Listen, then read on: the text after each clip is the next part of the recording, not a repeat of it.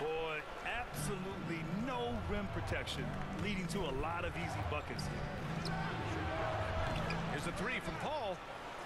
Outside Durant. Let's go with a three. Pass to Booker. Three-pointer. Here's James. Reverses. The kick out to Paul. On the wing, Durant. And another shot. Here's James. It's deflected. Oh my goodness. And he gets it. Somebody get the rebound. And a deep three from Paul. Durant with it. And Anthony picks him up defensively. Oh my And they get it goodness. Yeah, maybe a little luck. Somebody get the little bit of offense. rebound. Both of those play here. There we go. offensive First